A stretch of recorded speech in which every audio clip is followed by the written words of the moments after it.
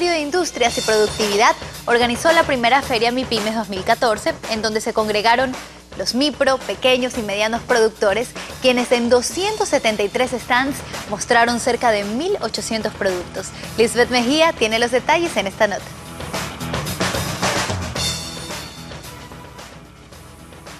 273 artesanos de todas las provincias del país asistieron a esta feria, cuya especialización fue en madera, textil, artesanías y joyas. Que la gente conozca que estamos produciendo con calidad en este país.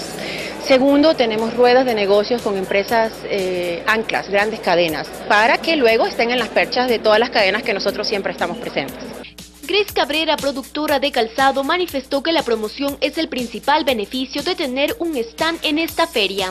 Nos está facilitando y abriendo las puertas para abrirnos a nuevos mercados y crecer, crecer de esta forma. Estos zapatos de diseños únicos van desde el módico precio de 22 dólares. Soy productora de calzado para mujer. Mi línea particular es la línea de novias pero ahora estoy incursionando con una línea un poco más comercial. El proceso de selección y la convocatoria fue de un mes, donde aplicaron 850 postulantes, de los cuales algunos vinieron desde otras ciudades para asistir estos cuatro días. Tenemos provincias como Guayas, Pichincha, Manabí, eh, Azuay, Tungurahua.